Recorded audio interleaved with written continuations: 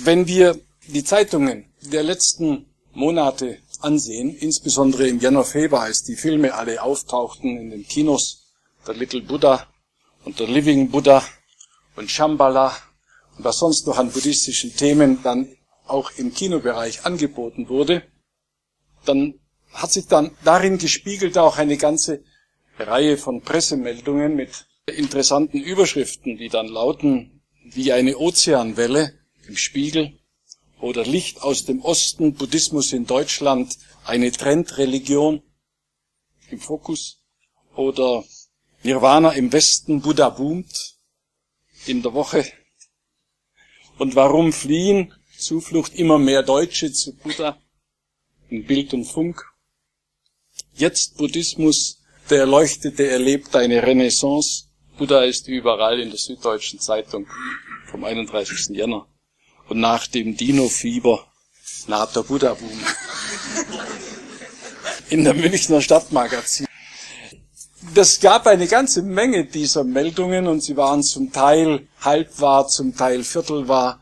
Es waren starke Verzerrungen, aber manchmal auch erkennbare Mühe des jeweiligen Journalisten, der uns befragt hat in der Deutschen Buddhistischen Union oder anderswo, äh, das einigermaßen sich hineinzufühlen und ein bisschen etwas von dem darzustellen, was er glaubt, entdeckt zu haben.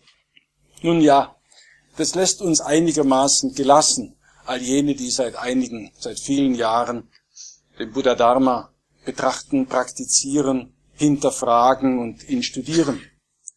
Weil auch da gilt, dass dieser Dharma, dieses, die Lehre des Buddha, Dar heißt ja das Tragende, Dharma das, was trägt, dass es dies seit zweieinhalbtausend, über zweieinhalbtausend Jahren gibt und dass zweifellos feststellbar ist, dass in, bei uns im Westen, in den Industrieländern, ein gewisses, immer stärkeres Interesse zu registrieren ist. Ich habe dabei zunächst vier Gründe, die ziemlich auf der Hand liegen, mir aufgeschrieben. Buddhismus ist nun mal keine Religion, kein Religio im herkömmlichen Sinne, wie wir es bei den monotheistischen Religionen des Nahen Ostens kennen, also Judentum, Christentum und Islam. Er ist auch ein Heilspfad, der aber nicht auf Glauben beruht, sondern auf Erkennen, auf Erfahrung und auf das eigene Bemühen. Die wahre Natur unseres Geistes zu entdecken, ein wenig zu trainieren und diese mittels der Energie der Achtsamkeit, diese Freiheit, diese Möglichkeit unseres eigenen Geistes zu entdecken, das ist seit diesen zweieinhalb Jahrtausenden die ständige Bemühung derer, die, wie wir so schön sagen, auf dem Weg sind. Im Buddhismus steht der Mensch im Mittelpunkt aller Konzepte, jedes Angebotes. Und es ist vielleicht die älteste psychologische Wissenschaft der Menschheit. Denn ein großer Teil dessen, was die Praxis ausmacht, ist natürlich auch Psychologie. Und das zweite ist der Verzicht auf Konstrukte. Der Verzicht, Begriffe wie ich und Gott und Selbst und Seele zu verwenden und daraus Begriffe zu bilden, an denen man festmacht, die aber in den Glaubensbereich gehören, die nicht konkret und greifbar sind, und dass es keine Absolutismen gibt, nichts, was aus sich heraus entstanden wäre, sondern immer, und das ist ein wichtiger Grundsatz im buddhistischen Denken, alles von Bedingungen, von Konditionen, von Voraussetzungen abhängt, vielen oft, aus denen heraus etwas möglich ist.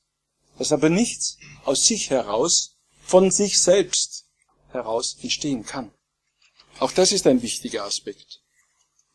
Und wir haben durch unseren Ego-Begriff, durch unser Ich-Bewusstsein eine Trennung zwischen uns und der Welt vorgenommen. Da bin ich und dort ist der Rest der Welt. Und der Buddha Dharma gibt die Möglichkeit, diesen, diese Illusion wieder aufzulösen. Dieses Nichtwissen von der wahren Natur der Dinge auf eine Weise zu entdecken, dass wir die Ganzheit, dass wir das Ganze wieder zu entdecken, zu erfahren vermögen und auf die Weise eine neue Weltsicht, eine neue Art von Bewusstsein. Lama Govinda hat immer gesagt, ein Klick im Bewusstsein und eine Wendung von 180 Grad entstehen kann. Leer vom eigenständigen Selbst zu sein, bedeutet erfüllt sein von allem, hat Dick Nathan vor zwei Wochen in der Schweiz erklärt. Und diese Fülle, dieses Erfülltsein von allem ist erfahrbar. Und das macht die Praxis aus, um die wir uns immer wieder neu bemühen. Und jeder sich selbst bemühen muss, weil es nur im eigenen Bemühen zu realisieren geht. Dieses Konzept ist der dritte Punkt. Eines eigenständigen Selbst hat Eigenschaften des Menschen in den Mittelpunkt gerückt, des modernen Menschen, und bestimmt, dass diese, diese Gier nach Haben und Sein, zu sein und zu haben.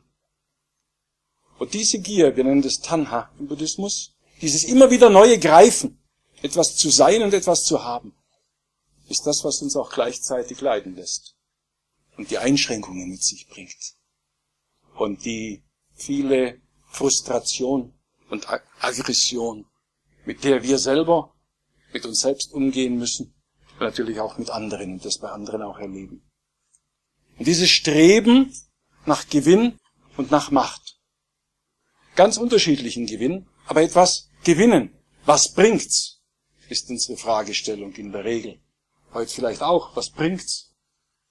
Das Streben nach Gewinn und nach Macht, nach Einfluss. Ich kann etwas zeigen, ich bin jemand. Und das Haften an Besitz und an Bedeutung. Festhalten.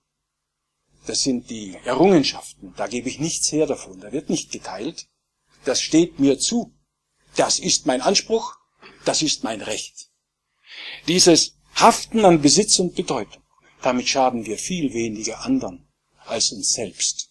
Mit dieser Art von Gier, von Streben und von Haften.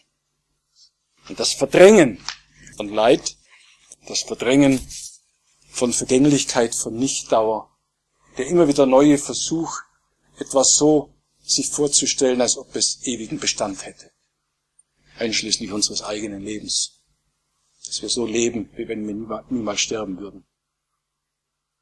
Dieses Ausleben und Anhaften und Streben auf Kosten anderer Wesen und der Natur und auch zu unserem eigenen, auf unsere eigenen Kosten. Das geschieht immer wieder und das brauche ich nicht weiter auszuführen. Sie werden selbst genügend Beispiele dafür finden.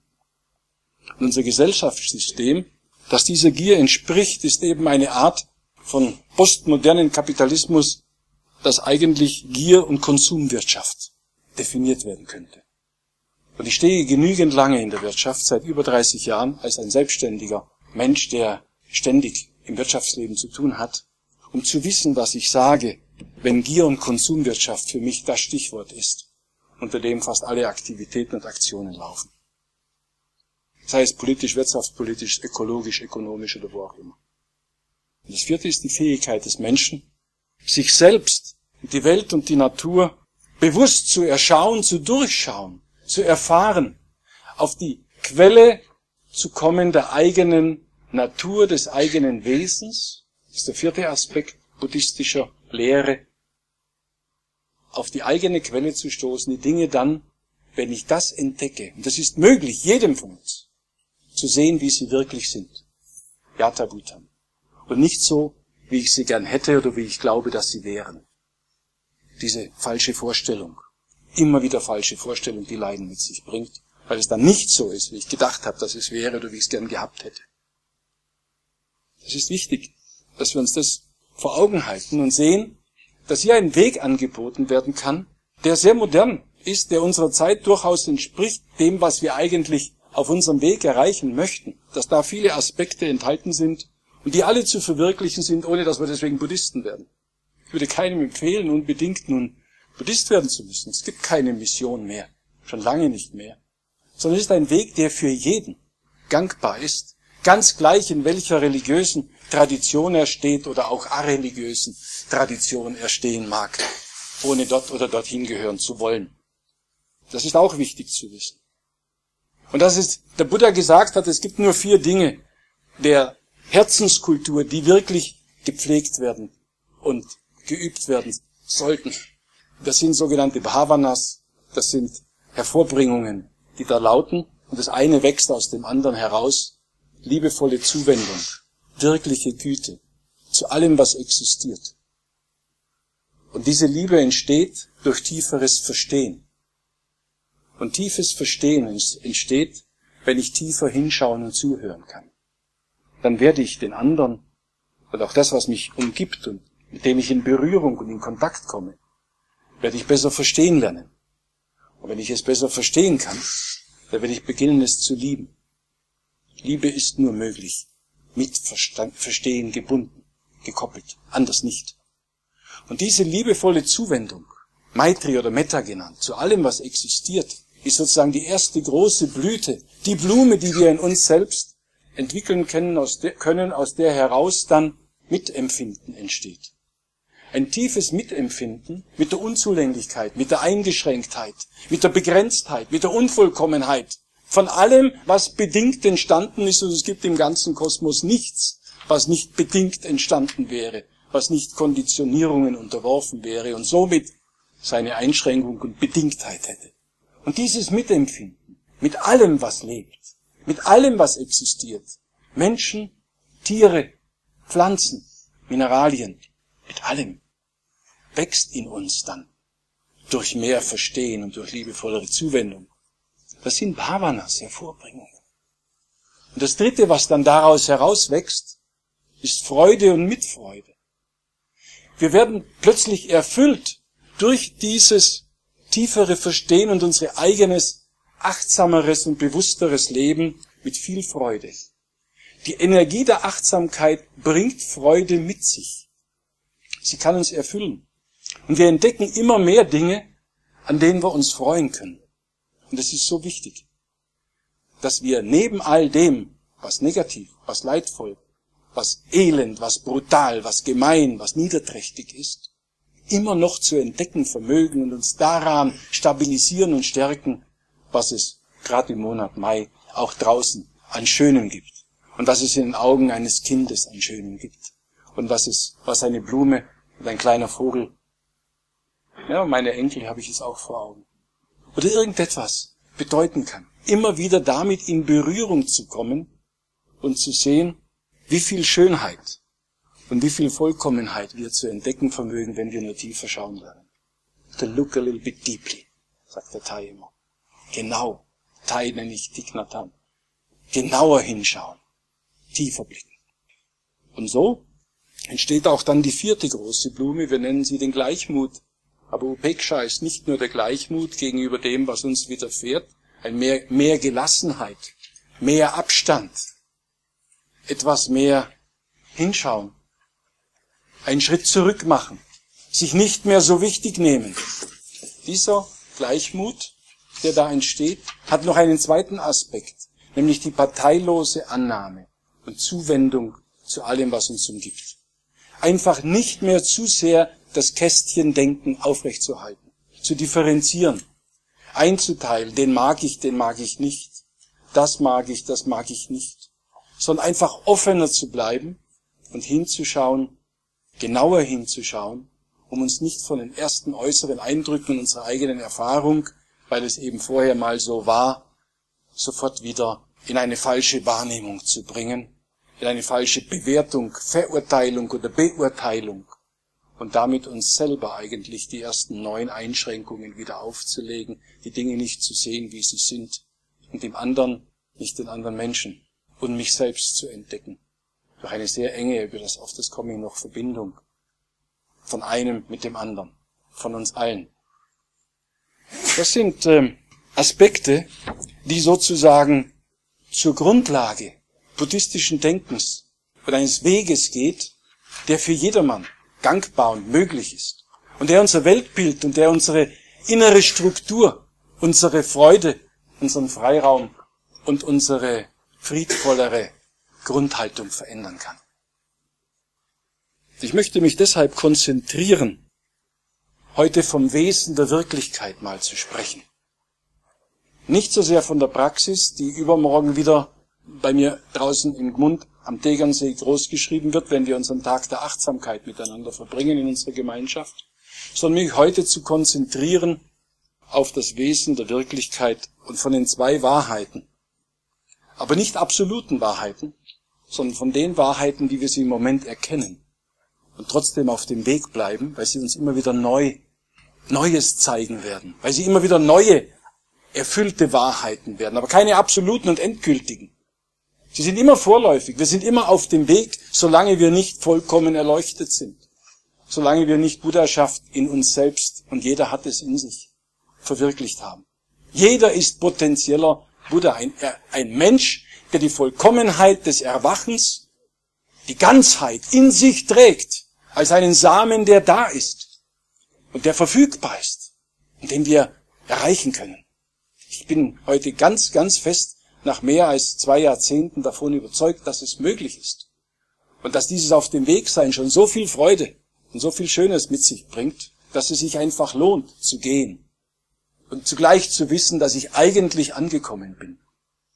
Aber ich gehe, um zu gehen, nicht um anzukommen. Und in diesem Art von Gehen, wir machen das in der Gehmeditation, ist eine Art von Gehen enthalten, wo es nicht mehr auf das Ziel ankommt, sondern wo das alles passiert während dem Gehen rechts und links am Wegesrand. Und das ist die große Freude. Nicht dann das Endziel, das wir sowieso alle nicht kennen. Und von diesen zwei Dimensionen der Wirklichkeit möchte ich gern heute sprechen. Denn sie beweisen den ersten Vers vom Dhammapada. Vom Geist geführt die Dinge sind. Vom Geist beherrscht, vom Geist gezeugt. Vergessen wir dabei bitte nicht, dass alle Konzepte, das ganze Angebot, das in der buddhistischen Lehre steckt, vorläufig ist. Es sind Möglichkeiten der Annäherung. Es sind Instrumente. Aber es ist niemals etwas Endgültiges, Festgeschriebenes, wo man sagt, das habe ich, das stecke ich in der Tasche und nun ist es sozusagen mein Eigentum. Deshalb sind wir so vorsichtig bei Begriffen, bei Konzepten, bei Definitionen zu meinen, das sei's dann schon. Es ist nur immer wieder der Finger, der auf den Mond zeigt. Noch lange nicht der Mond selber. Es sind nur Instrumente, Möglichkeiten, uns zu verändern. Und nicht das Konzept und nicht der Begriff ändert uns oder ist entscheidend, sondern das Leben und unsere Einstellung zum Leben. Jeden Tag, jede Minute. Darauf kommt es an. Und Veränderung ist immer. Ein Konzept buddhistischen Denkens ist, dass Nichtdauer, Veränderung ständig stattfindet. Immer ist es ein prozesshaftes Geschehen. Das sehen wir im ganzen Kosmos, im ganzen Weltall, dass ständig Veränderung da ist. Tod wäre Stillstand. Leben ist Veränderung. Und weil es immer Veränderung gibt, in jeder kleinsten Zelle und in jedem größten Milchstraßensystem oder Galaxie, sich ständig Bewegung, Veränderung und Neuformierung stattfindet, ist Leben für uns unzerstörbar. Es ändert sich nur. Und wir haben die Möglichkeit, diese Änderung über uns ergehen zu lassen, alt zu werden, zu sterben und dieses Leben an uns vorbeifließen zu lassen, ja uns sogar manipulieren zu lassen in unseren Veränderungen, weil andere uns sagen, auf welche Weise und wie wir uns verändern. Oder wir haben die Möglichkeit, Veränderung bewusst zu erleben und an dieser Veränderung mitzuwirken. Unserem Leben eine bestimmte Richtung zu geben, nicht ein Ziel, nicht ein Endprodukt, wo wir sagen, das und das muss ich jetzt erreichen oder das und das ist nun mein Lebensziel, sondern in eine bestimmte Richtung uns zu orientieren, die, wenn sie Freude bringt, immer wieder neue Möglichkeiten eröffnet und wir immer wieder durch Hinterfragen die Richtung beibehalten. Nicht mehr Automatismen unterliegen, nicht mehr Gewohnheitsmustern und Verhaltensmechanismen unterliegen, sondern sich selbst bewusst Richtung geben. Wodurch? Durch diese Energie der Achtsamkeit. Durch die Möglichkeit, sehr achtsam, sehr bewusst, jede Minute, und die wird immer anstrengungsloser, diese Bewusstheit, dieses Bewusstsein, jede Minute ganz da zu sein. Einfach ganz präsent zu sein. Die Meditation im Buddhismus dient in erster Linie dazu, uns zu konzentrieren und bei dieser Konzentration zu sagen, I stop. Samatha ist nichts anderes wie stopping, anhalten, nicht mehr rennen. Wir brauchen nirgends hinrennen. Wir haben schon alles, was wir brauchen, wenn wir nur tiefer hineinschauen. Und dieses Stopping, diese Konzentration entweder auf unseren Atem oder ein Meditationsobjekt, ganz da zu sein, in diesem Hier und Jetzt, in diesem Moment, ermöglicht uns diesen Stopp herbeizuführen und wegzugehen von diesem Rennen und damit auch zu stoppen unsere Automatismen und mechanischen Gewohnheitsmuster. Dieser Stopp ist sehr wichtig. Genauso wie das zweite, was in der Meditation passiert, Vipassana, der Klarblick, Klarsicht. Warum? Was entsteht denn hier? Durch diese Achtsamkeit entsteht tiefere Einsicht in unsere eigene Natur. Und unsere Natur ist nicht sehr viel anders von der Natur aller anderen Wesen. Wohl unterschiedlich im Bewusstsein, wohl unterschiedlich in der Intelligenz, wohl unterschiedlich in all dem, was diese Persönlichkeit XY ausmacht. Aber die Natur unseres Wesens ist dieser Geist, der alle von uns belebt, der in allem durchwebt und da ist und die gleiche Qualität besitzt, nur auf verschiedenen Bewusstseinsebenen nach buddhistischen Konzeption. Und wenn wir dann Einsicht und Verstehen entwickeln, unserer eigenen Körperlichkeit wieder Kontakt mit unserem Körper bekommen, wenn wir Kontakt mit unseren Gefühlen und Emotionen bekommen, sie nicht mehr verdrängen, sondern bereit sind, sie anzuschauen, sie anzunehmen als einen lebendigen Teil von uns, die guten und die weniger guten, auch die negativen, und sie allmählich zu transformieren und umzuwandeln. Wenn wir hinschauen auf unsere Gedanken, wie sie kommen und gehen, wenn wir das beobachten, wenn wir unsere Gedankeninhalte besser erkennen können und anschauen, dann machen wir Satipatthana, eine Übung auf die vier Grundlagen, die vier Grundlagen der Achtsamkeit, werden dann geübt, eine der wichtigsten Angebote, die der Buddha vor zweieinhalbtausend Jahren gemacht hat. Deutlich zu machen, wie wir mehr Einsicht, mehr Verstehen entwickeln können und damit unsere Fähigkeit zu lieben und anzunehmen, uns und andere verbessern, erheblich verbessern. Und dann werden wir auch die Mitwelt, die anderen und uns selber anders betrachten. Wir werden kein, kein Schlachtfeld mehr eröffnen, auch mit uns selber nicht mehr. Wir werden keine kleinen Kriege mehr in der Familie, in der Gesellschaft, im Berufsleben und mit uns selbst führen. Wir werden durch diese Einsicht und das Verstehen friedvoller. Und das ist möglich, wenn wir es nur wollen und die Richtung beibehalten. Und dieses Meditation geschieht eben nicht nur auf dem Kissen, die halbe Stunde oder so, die der eine oder andere von uns investiert sozusagen, um selber Stille und innere Ruhe zu erfahren, sondern sie ist beim Gehen, beim bewussten Gehen. Sie ist beim Essen, beim bewussten Essen. Sie ist beim Einschlafen und beim Aufwachen. Und sie ist in jeder Situation immer besser da. Das ist dann meditatives Leben bewussteres, achtsameres Leben und auch das ist möglich. Leben ist nur jetzt und hier berührbar, nur in der Gegenwart, nur in diesem Moment. Wir können nicht Leben berühren, wenn es bereits vorbei ist.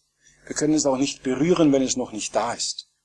Und dieses Jetzt ist ein Moment, ist etwas so filigranes, etwas so zerbrechliches, dass es kaum zu fassen ist. Und doch ist es alles, was wir haben. Ständig neu. Immer wieder. Jede neue Sekunde oder Zehntelsekunde. Das ist etwas Wunderbares, dieses Leben in dem Hier und Jetzt, in dieser wirklichen Präsenz zu entdecken und zu sagen, ja, ich lebe. Es ist wunderschön zu leben. Es bewusst zu tun, es zu spüren und die wahre Heimat dabei zu entdecken. Diesen Frieden und diese Freude zu entdecken, die wir in uns selber haben, als Samen, als Möglichkeit. Oft leider verkümmert weil es nie benutzt wird. Oft überlagert durch viele Schichten und Schlacken. Buddhismus ist Marga, das heißt der Weg, gehen. Was ich für mich tue, wenn ich gehe und wenn ich an mir arbeite, tue ich auch für die anderen. Ich kann mich nicht raushalten. Ich bin, ob ich will oder nicht, und das ist eine tiefen Ökologie ersten Ranges. Ich bin mit allem anderen untrennbar verbunden. Das ist buddhistische Erfahrung und Grundschau. Wir sind so tief mit allem, was existiert, verbunden, dass wir uns daraus nicht rausnehmen können. Ich werde es nachher noch verdeutlichen. Was ich also für mich tue, tue ich automatisch und immer wieder, immer wieder auch für den anderen. Und was ich für andere tue, und das ist wichtig zu wissen, tue ich auch für mich selber. Es ist nie ganz altruistisch.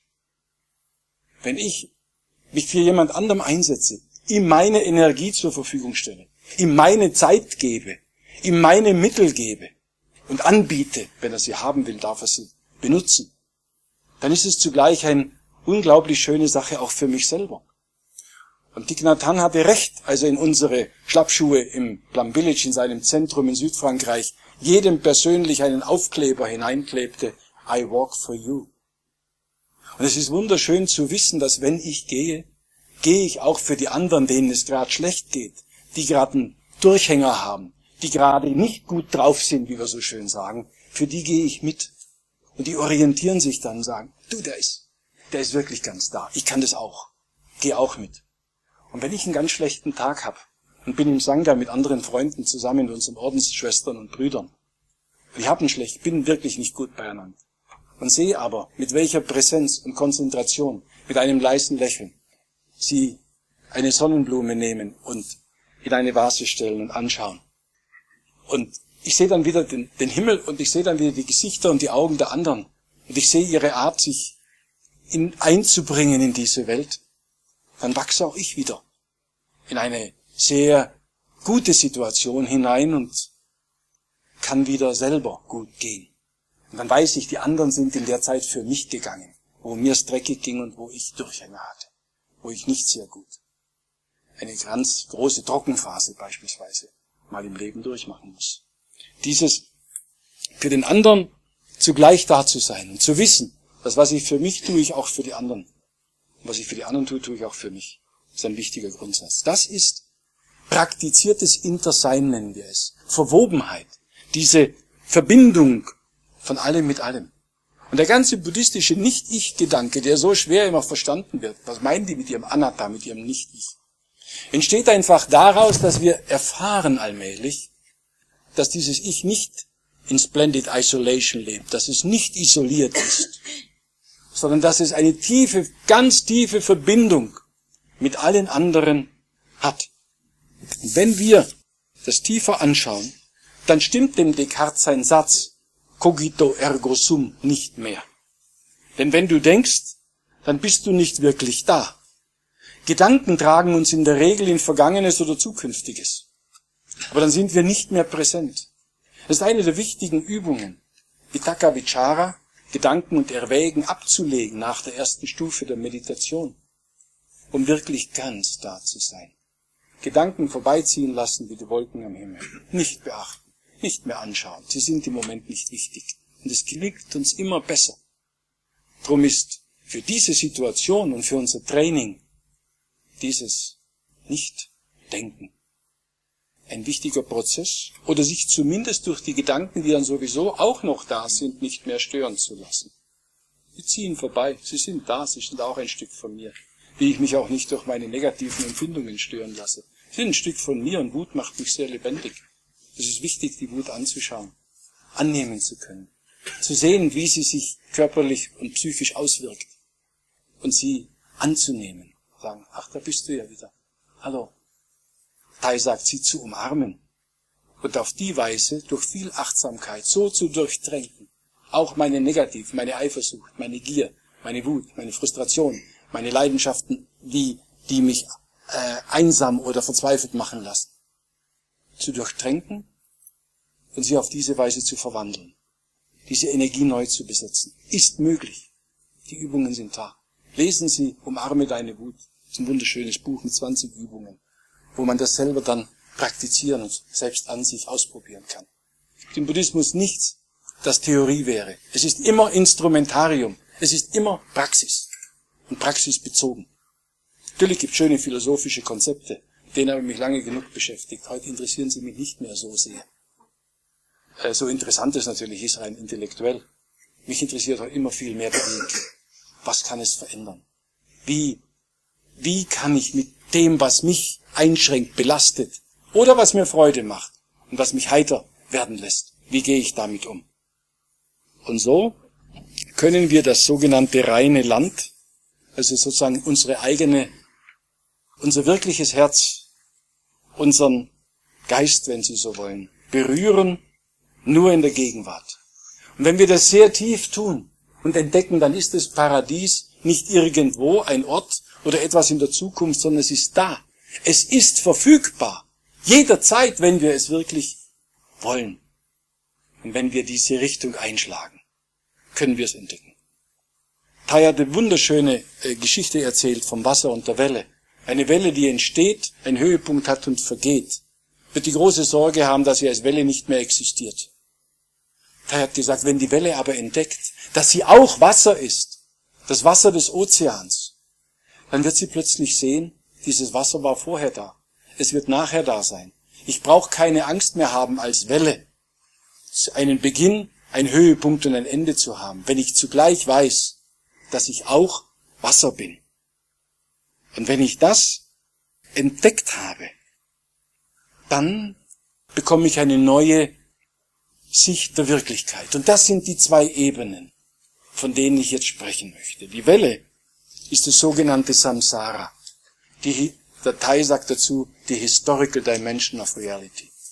Die historische Dimension. Die relative Wirklichkeit, die wir jeden Tag als ich, als Karl in dieser Welt mit unseren sechs Sinnesorganen, weil Denken zählt dazu zu den fünf klassischen, erleben und erleiden. Und es gibt das Wasser. Wasser ist Nirvana. Ein Wort. Sie können gerne ein anderes nehmen. Es ist die transzendente Wirklichkeit. Es ist the ultimate dimension of reality. Die letztendlich gültige Dimension von Wirklichkeit. Für die Experten, das eine ist Lokadatu und das andere ist Dharmadatu. Es ist die Buddha-Natur in allem. Und ich habe früher geglaubt, dass diese beiden Wirklichkeiten zwei Seiten einer Medaille wären. Aber es waren immer noch zwei Seiten. Zwei Weisen, die Wirklichkeit zu sehen, die relative und die ganzheitliche Wirklichkeit. Heute weiß ich, aufgrund einer eigenen Erfahrung und mehreren kleineren Erfahrungen, dass sie sich gegenseitig durchdringen. Es sind nicht zwei Seiten, es ist das Gleiche, diese Wirklichkeit. Sie durchdringen sich einander wechselseitig. Die eine ist ohne die andere nicht möglich. Sie existieren auch nicht unabhängig voneinander, Samsara und Nirvana, und müssen doch genau unterschieden werden, weil es sonst sprachliche und begriffliche Verwirrung gibt. Es sind zwei große Dimensionen der Wirklichkeit, die aber so miteinander verwoben sind, dass sie jederzeit beide gleichzeitig und eine ohne die anderen auch nicht denkbar vorhanden sind, präsent sind. Und daraus kommt die, muss ich sagen, Mahayana-Auffassung aus dem Avatamsaka Sutra und Ratnakuta Sutra. Das sind also bestimmte Lehrreden, die wir, die sehr umfassend äh, und tiefgründig sind.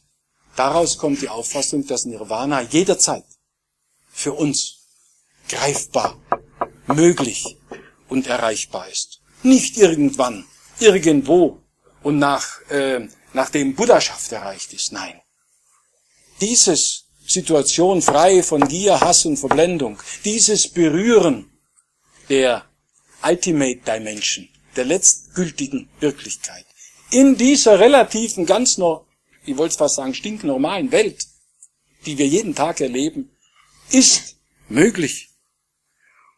Und dieses Nirvana ist eine Wirklichkeit ohne Konzepte, ohne gedankliche Konstruktionen und ohne die vier Vorstellungen von Sein und Nichtsein, das spielt keine Rolle mehr. Von Kommen und Gehen, das spielt auch keine Rolle mehr. Im Samsara haben wir Anfang und Ende. Wir haben hier das Ich und das Du. Wir haben hier Tod und Leben. Wir haben Außen und Innen und einer und viele das alles, diese Welt der Begriffe, der Ideen, der Konzepte, der Vorstellungen und der falschen Wahrnehmungen gilt da nicht. Und das ist berührbar. Das kann ich erreichen. Ich habe keine Angst mehr, wenn ich als Welle entdecke, dass ich auch Wasser bin. Und diese Furchtlosigkeit und die Freude, die dabei entsteht, ist Nirvana. Ich bin zu Hause angekommen. Durch meine Achtsamkeit und mein Atmen. Buddha hat in seiner ersten Lehrrede gesagt, ich habe die Todlosigkeit gefunden. Er hatte dieses Nirvana erreicht und für jeden anderen von uns, für jeden Menschen und nicht nur Menschen, für allem, was existiert, ist es möglich, das zu erreichen, wirklich anzukommen, daheim zu sein, Ich kann das zum Beispiel, wenn ich ein Stück Brot esse, schon feststellen. Brot, ein Stück Brot zu essen, bewusst und achtsam zu essen, ist ein Botschafter des ganzen Kosmos. Ich kann entdecken den Regen drin. Ich kann entdecken das Getreide und die Erde und die Sonne und die Luft und den Müller und den Bauer, den Händler. Ich kann alles darin entdecken in einem Stück Brot. Und wer selber schon mal Brot gebacken hat, eine fast archaische Handlung, Teig zu kneten, ist etwas Wunderschönes. Der weiß, dass er mit diesem Stück Brot, das so herrlich duftet, den ganzen Kosmos, alles was existiert, darin enthalten ist. Denn würde ich nur ein Element, die Sonne oder das Getreide oder den Müller oder den Vater von dem Müller wegnehmen, wäre das ja schon wieder nicht mehr möglich, dieses Stück Brot in der Hand zu haben. Und das meine ich mit tiefer Schauen. Das meine ich mit berühren, indem ich durch das eine alles andere entdecke. Und genauso kann ich auch entdecken, dass dieser Karl, der hier steht, aus vielen Elementen sich zusammensetzt, die nicht Karl-Elemente sind und dass diese Nicht-Elemente, Nicht-Ich-Elemente erst diesen Menschen, der sich dann als Ich-Karl bezeichnet, ergeben. Und dass wenn alles mit allem verbunden ist, dann haben die Tibeter recht, wenn sie sagen, ich war schon der Vater und die Mutter von allem, was existiert. Und ich war der Sohn und die Tochter von allem, was existiert. Warum? Weil seit anfanglosen Zeiten dieses Leben, dieser Strom des Lebens fließt und in uns unendlich viel, ja alles zugleich enthalten ist. Und dann werden wir auch nicht mehr mit uns kämpfen und gewalttätig umgehen, sondern sehr viel in uns entdecken und uns annehmen und lieben können, weil wir alles in uns tragen. Auch die Vollendung ist in uns. Dick zugedeckt, mit dicken Schichten Kleshas genannt, mit Ablagerungen von Gewohnheiten, von Habit Energies, Gewohnheitsenergien, Auffassungen, Meinungen, Betrachtungen, Vorurteilen, Furcht und, und, und. Buddha hat die Furchtlosigkeit angeboten. Es ist das größte Geschenk, das er den Menschen gemacht hat. Furchtlos zu sein. Und das ist zu entdecken, das ist möglich. Nirvana ist immer erreichbar, weil es schon da ist. Nicht in der Zukunft, in der Gegenwart. Und wir brauchen Samsara nicht zu verlassen, diese Wirklichkeit, um zugleich in der anderen Wirklichkeit zu sein. Ich brauche keine Himmel und Höllen mehr, außer denen, die sowieso in mir selber sind, in meiner Seele stecken, Seele in Anführungszeichen. Da gibt es. Und auch Situationen. Ein KZ und ein Schlachthaus ist eine Hölle. Und andere Situationen können himmlisch sein.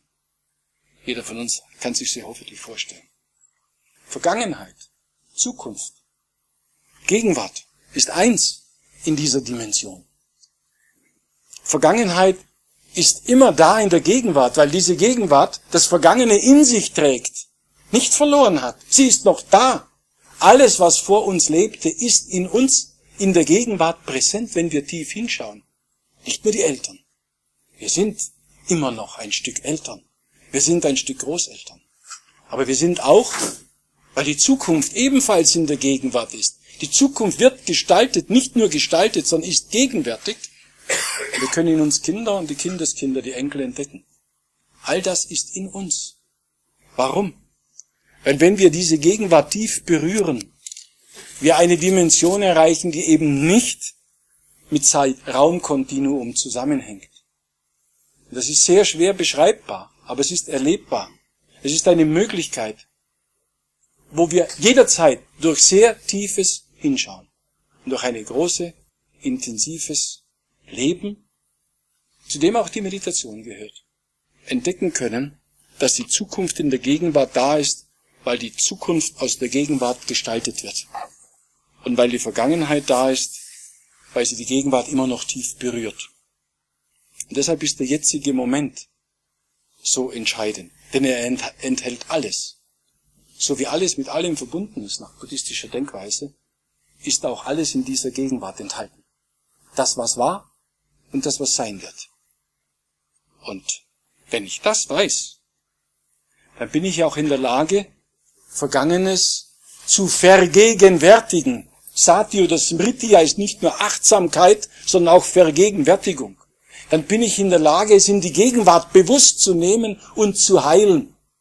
Auch das, was ich vielleicht versäumt habe. Auch mit Menschen und Mitmenschen wie meinem Vater oder anderen, die heute nicht mehr leben. Ein Heilungsprozess ist in dieser Gegenwart möglich, weil das Vergangene in dieser Gegenwart lebt. Und ich kann, wenn ich tief blicke, es berühren. Wenn wir das tiefer anschauen und da ein wenig selber hineingehen in diese Welt des Avatamsaka Sutra, in diese Welt der transzendenten Wirklichkeit, des Nirvana und es berühren, und sei es nur für einen Augenblick, wird unser Leben sich verändern. Wir kriegen eine völlig neue Qualität und entdecken selber, wie Zukunft aus Vergangenheit gemacht ist und in dieser Gegenwart seine Wirkung hat. Und dann wird das größte Geschenk, das du deinen Ahnen und Vorfahren, aber auch deinen Enkeln machen kannst, wird dein Lächeln sein. Und deine Art zu gehen. Deine Art zu lieben. Und deine Freude. Und alle werden daran teilhaben. Ich habe immer stärker das Gefühl, auch räumliche Trennung spielt keine Rolle mehr.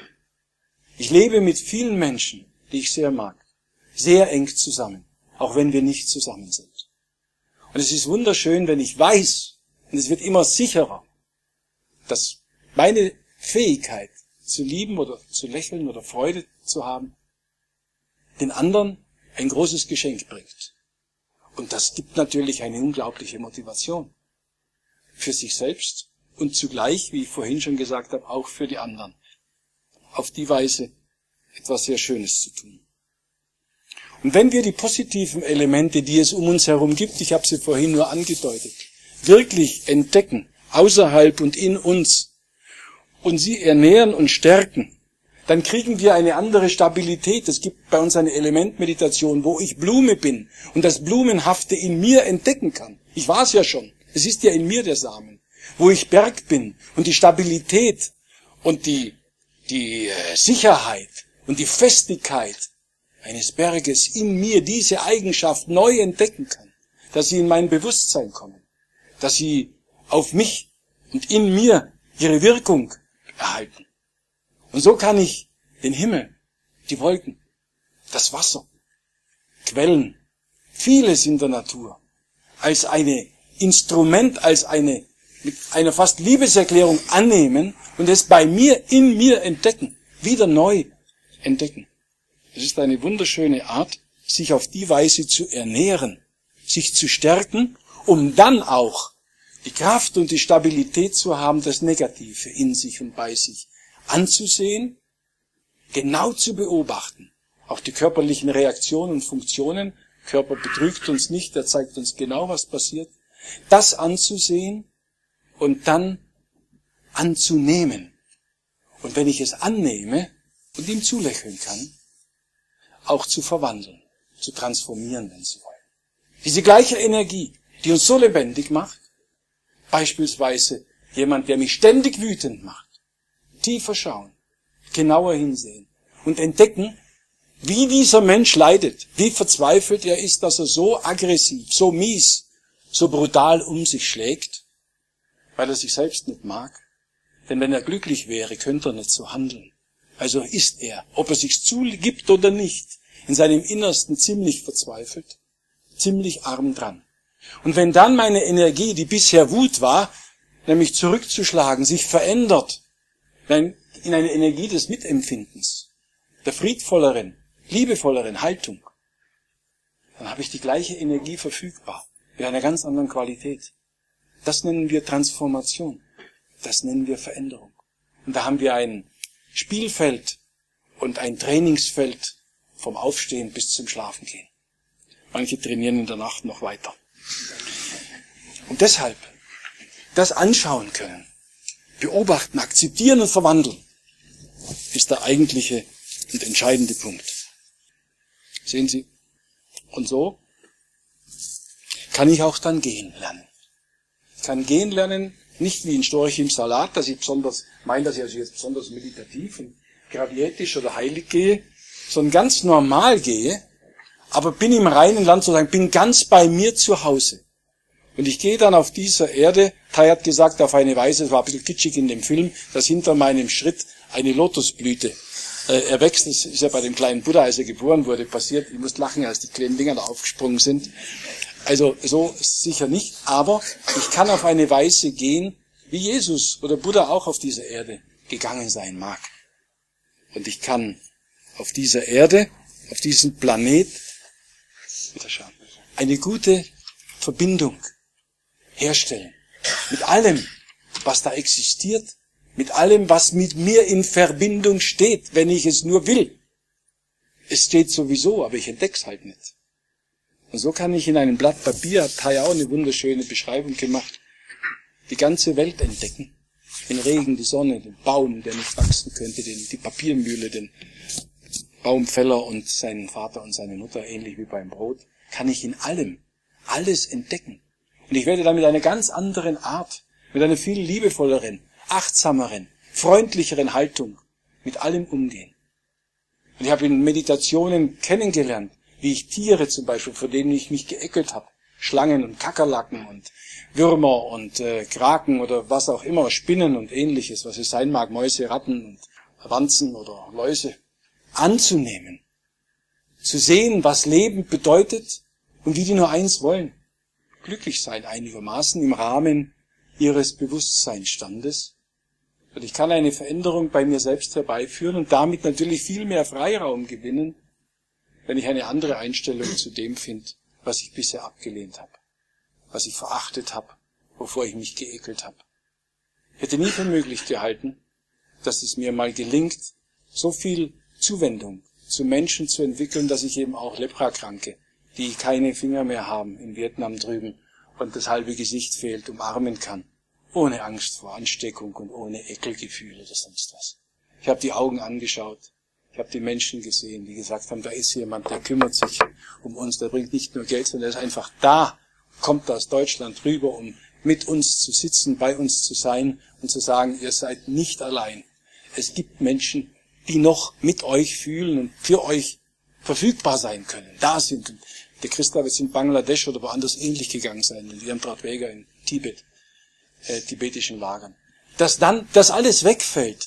Es gibt dann kein Problem mehr zu fühlen, wie wir miteinander verbunden sind und wie tief diese Verbindung von einem zum anderen geht und da ist, ob wir wollen oder nicht.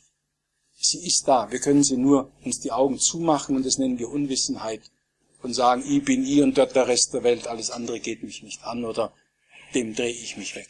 Wir können uns nicht wegdrehen. Und so hat jeder die Kapazität, dass das Wasser die Welle berührt. Und das ist die Vollkommenheit, das ist die sogenannte Buddha-Natur in uns, Bodhicitta, das Erleuchtungs, der Erleuchtungsgeist, von dem alle Dinge geführt sind, von dem sie ausgehen und der immer da ist. Wir haben ihn. Und das ist, glaube ich, die riesige, großartige Botschaft, die wir selbst entdecken können, wenn wir sie aufgreifen, Furchtlosigkeit und Vollendung in uns zu entdecken. Wer das mal entdeckt hat, auch nur für einen kleinen Moment, wird es wieder irgendwann ein bisschen verlieren. Die Trockenphasen kommen. Es gibt immer wieder Rückschläge, wenn wir nicht sehr bewusst sind, wenn wir nicht mehr tiefer schauen, wenn wir ein bisschen wieder laissez-faire beginnen. Man muss dranbleiben. Man muss sehr kontinuierlich dranbleiben, aber nicht verkrampft, nicht verbissen, locker. Es ist schön, es ist ein Spiel dabei. Und Leben ist sehr lebendig und ist etwas Großartiges. Wir brauchen nicht so hingehen mit heruntergezogenen Mundwinkeln und vorgeschobenen Unterkiefer und zugekniffenen Augen, sondern wir können es wirklich mit Freude machen, wenn wir es ein bisschen geübt haben. So können wir Nicht-Dualität erkennen. Ich entdecke in jedem Staubkorn Millionen von Buddha-Länder, wenn ich genau hinschaue. Und diese Dhammas oder Dharmas, diese Partikelelemente der Wirklichkeit, die sind es, die da zusammenspielen. Etwas sehr tief berühren. Und wir berühren den ganzen Kosmos. Und alles Negative enthält auch seine freudige, freudvolle, friedvolle und schöne Seite. Und alles Schöne hat natürlich auch eine andere Seite. Wir haben das beim Yin-Yang-Symbol so schön dargestellt. Und das kann man dabei alles entdecken. Und ich kann dann langsam mit mir Frieden machen. mit mir selber mich annehmen, mich vorher mit diesen positiven erfüllen, entdecken, wie alles in allem existiert und wie Frieden und Freude in allem existiert. Ganz gleich, was wir berühren. Jedes Element hat dies auch in sich. Auch das Schmerzhafteste, auch das Scheußlichste hat es in sich. Und dann werde ich aufhören, abzulehnen, zu hassen, zu verurteilen, sondern werde tiefer und tiefer schauen. Und das macht einen Buddha zum Buddha, dass er in diesem Samsara das Nirvana entdeckt dass er in diesem leidvollen, zerrissenen, blutenden, brutalen und schlimmen Welt das Vollendete sehen kann. Und die Freude. Und dass nichts kaputt gehen kann. Und dass nichts verloren geht. Sondern dass es vollendet ist. Und es ein langer und schmerzhafter Weg ist, es sich bewusst zu machen. Und das ist Praxis. Und das ist der immer wieder neue Versuch, den wir unternehmen wollen, dieses Wunder zu entdecken. Dieses Wunder, das diese Welt ausmacht und diesen, das durch diesen Geist bestimmt wird, der in allem steckt. Und dann können wir uns unsere Fähigkeit entwickeln und sagen, ich bin schon angekommen. Und was du glaubst haben zu müssen, das ist längst in dir. Du brauchst nichts mehr von außen holen. Das ist die große Erkenntnis. Und jemand, der sehr viel erreicht hat und sehr viel gehabt hat, in der Familie, im Beruf, in der Anerkennung, in großen Titeln und Posten und finanziell und wo auch immer, der wird mir folgen können und mir zugeben, dass es das alles nicht letztlich ist. Es ist schön, macht Spaß, ist auch in Ordnung, wenn wir uns darum bemühen. Aber es ist etwas ganz anderes, wenn ich weiß und entdecke, dass alles, was ich glaube, haben und werden zu müssen, schon da ist. Und es gibt Leute, die wissen alles und verstehen gar nichts. Das gibt's natürlich auch. Und, und, und, und du bist schon, was du werden willst. Wenn ich das einmal entdeckt habe, dann höre ich auf, irgendwo hinzurennen. Ich muss nicht mehr rumlaufen. Das haben christliche Mystiker entdeckt, das haben buddhistische und islamische und alle anderen auch entdeckt. Wenn ich Gott außer mir suche, kann ich ihn nicht finden, wenn ich ihn da nicht entdecke, hat Angelus Silesius gesagt. Andere, ein Zen-Meister sagt, wenn du Buddha triffst, schlag ihn tot. Warum? Wenn du Buddha außen triffst, dann hast du ihn noch nicht getroffen. Du musst ihn bei dir entdecken. Wenn du ihn da nicht findest, wo dann?